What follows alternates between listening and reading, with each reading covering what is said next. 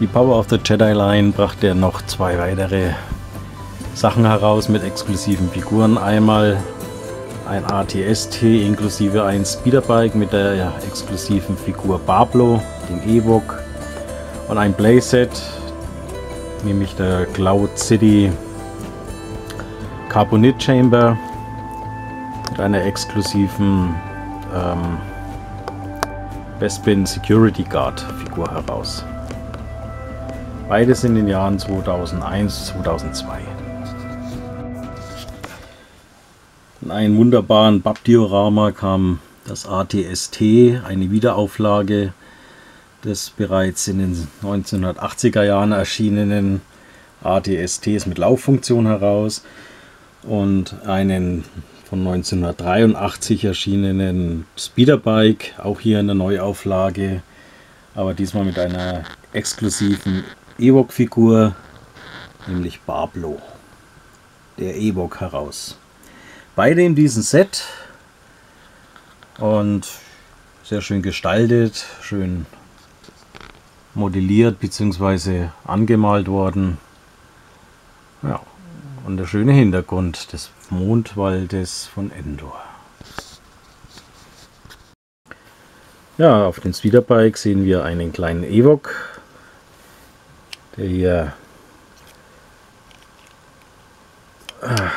an den Griffen sich festhält und in einer fliegenden Position sicher kommt. Er war einer der ja, bis dato vier erschienenen Evox.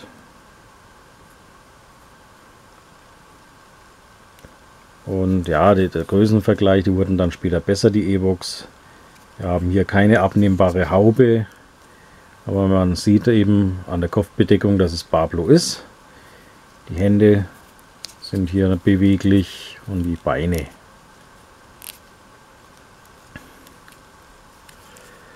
Schön wieder die Feldzeichnung. Ja. Das Speederbike, ähm, gleiche Mold wie in den 80er Jahren, 83 und dann später nämlich neu herausgekommen. 96er, 97er Jahren. Hier in der neu, neuartigen Bemalung schon. Also wir haben hier die Abnutzungsspuren, die Griffe sind beibehalten worden, ebenso wie dieser ja, Sitzgriff, wo man dann die normalen Figuren früher einhakte zum drauf sitzen. Wir haben gerade gesehen, dass es da schon auseinanderfällt. Es hat nämlich eine Funktion, und zwar bei Druck hinten auf den äh, Rucksack kann es nämlich äh, zersprengt werden. Ja, hier der Federmechanismus, Katapultmechanismus drin. Wir haben hier unten eine bewegliche Laserkanone, wie schon damals. Und die Heckdüsenklappen oder Bremsklappen sind hier beweglich, war auch schon damals so. Nur dass sie diesmal hier besser festgemacht wurden und nicht mehr zu leicht zum Verlieren sind.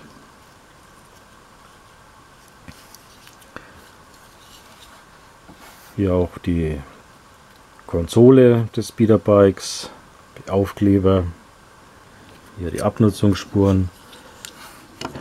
Ja, und der vordere Teil. Und hier sehen wir kurz das Problem, das fällt recht leicht auseinander. Normalerweise sollte es hier einhaken und drüber gehen. Aber die Nase hier ist zu kurz, sodass es nicht richtig fest geht. Und deswegen hält es auch nicht richtig. Und so waren ursprünglich auch die Produktionsfehler gewesen. In der allerersten Auflage des Speederbikes, da gingen sehr viele wieder zurück. Da sie von alleine auseinander fielen. Also man sieht, es hält leider nicht richtig, finde ich ein wenig schade. Okay, aber ich habe ja noch mehr Speederbikes, aber trotzdem. Ja, und dann haben wir dann haben wir noch den Chicken Walker hier mit diesen großen Beinen. Auch damals schon Spaß gemacht, dieses Teil. Wir haben hier auch wieder Aufkleber dran. Zwei rotierende Lasergeschütze auf beiden Seiten, identisch sind. Hier unten die große Blasterkanone und oben sogar noch ein kleiner Handfeuerblaster. Und der Deckel hier ist bei, zweimal öf zu öffnen. Wir haben hier einmal die Luke, der dann eine Figur herausschauen kann oder eben eine Figur sich hineinsetzen kann. Der Mold ist der gleiche wie eben damals in den 80er Jahren. Und auch die Rückseite hat hier Beineunterstützungen, die Schenkel. Und die Funktion, die zeige ich euch jetzt an einem anderen Art, Art äh, ATST. So, ich habe jetzt den mal aus den äh, 80ern, äh, 90ern genommen, aus der Power of the Jedi, äh, Power of the Force Line. Und zwar haben wir hier hinten einen Hebel, welche hier auf, hier sehen wir die Aufkleber Stand und Walk. Wenn man den umstellt, sieht man auch, dass die Beine etwas anders werden und dieser Knopf sich hebt. Und dann beim Drücken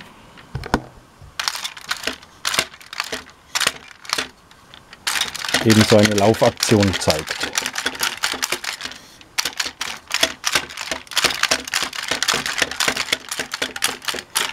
Und das war damals als Kind schon klasse. Also hat mich zumindest gefreut. Ich dachte natürlich ganz am Anfang immer, der würde wirklich alleine laufen, aber hm, ja, trotzdem. Auch die Rückseite hier hinten sehr schön gemacht.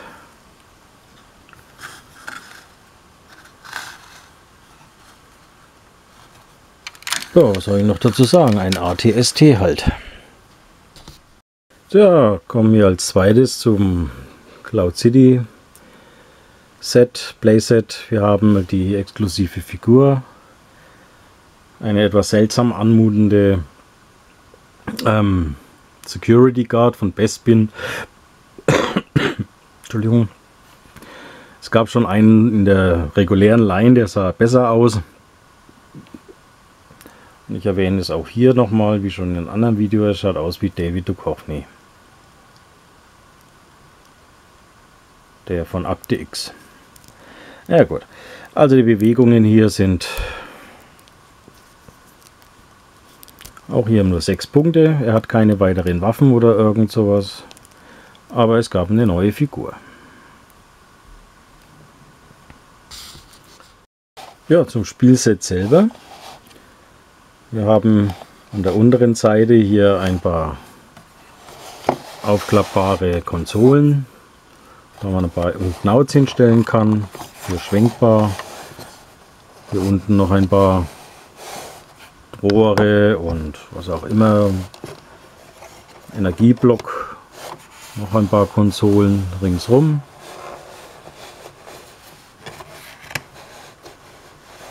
Und hier auf der Rückseite sehen wir eine Tür für ein paar Gefangenen zum Spielen.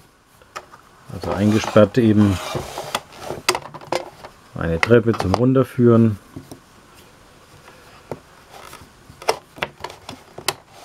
Und hier sehen wir dann auch noch an der Seite einen Hebel. Auf der anderen Seite auch noch mal einen Hebel, den man hoch und runter fahren kann. Ja, und schauen wir uns mal oben an. Ja, zunächst fällt hier diese große Waffe auf, die hier schwenkbar ist. Die war auch schon bei den anderen Playsets dabei.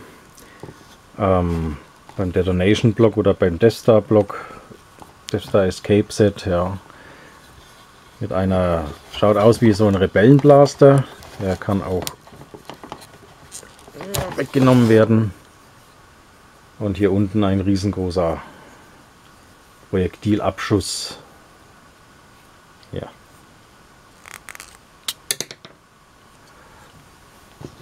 Ja, von diesem Projektil sind zwei Stück dabei normalerweise. Ich habe jetzt bloß das eine hier. Dann eben da reingeschoben. Auf der Oberseite sehen wir hier noch ein paar Treppen, dann diese Gefrierkammer-Sektion. Kann man dann auch ein paar Figuren draufstellen.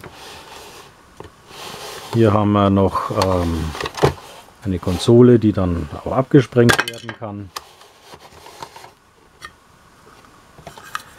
Eigentlich sollte sie nach unten klappen bloß, ja. So ein Auslöser? Nein, geht's gar nicht. Das war jetzt ein bisschen zu dolle. Also man kann es dann hier ein bisschen nach unten klappen. Um beim Kampf gegen Vader einfach ein bisschen hier zu punkten.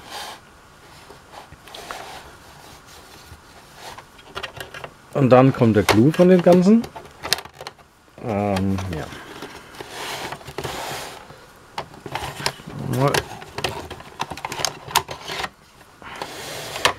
Wir haben hier nämlich einen Carbonierblock, einen Carbonite-Block mit einer weichen Folie draußen rum.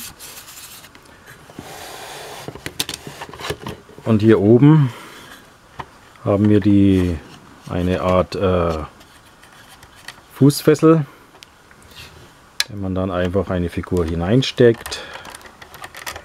Und dieses Teil ist halt wichtig,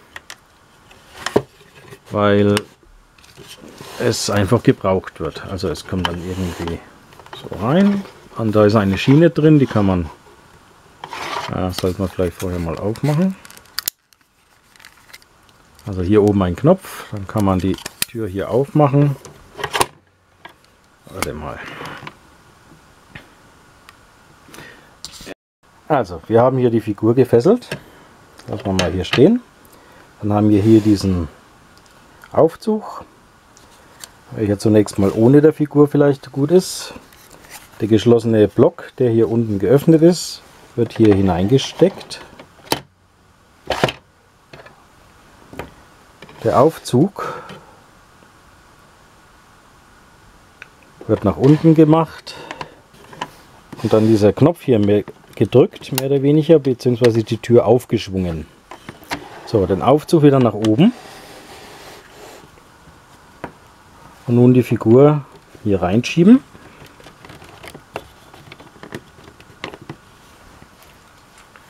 So, und das Ganze jetzt andersrum.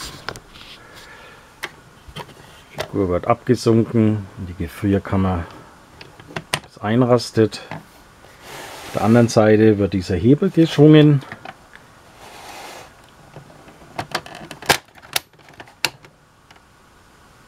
So, und dann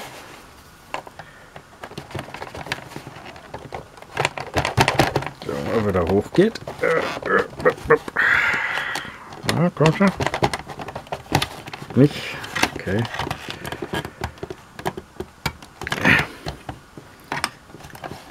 So, ja. Und dann per Hand wieder rausgezogen.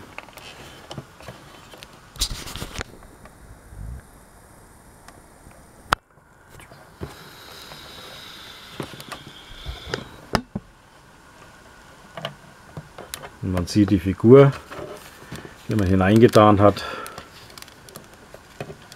zeichnet sich hier durch den weichen Filz ab. Und somit ist sie carboniert gefroren. Also schönes Gimmick, finde ich. Ich hoffe, euch hat das Video gemacht. gefallen. Und wenn ihr wollt, sehen wir uns das nächste Mal wieder.